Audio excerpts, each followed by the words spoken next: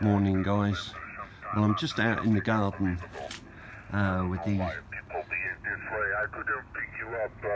I've just worked this guy on 2 watts QRP uh, with the scooter battery and I've just made a short um, 20 to 10 off centre fed dipole and it is tuning up. Beautiful.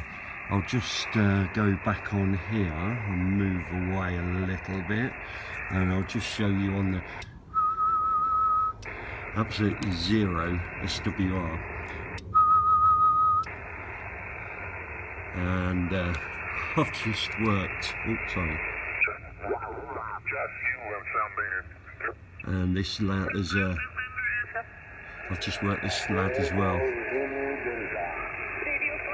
He did. The guy here just gave me a five by seven, and I am working literally nothing, zero watts, and the say the bands are dead, eh?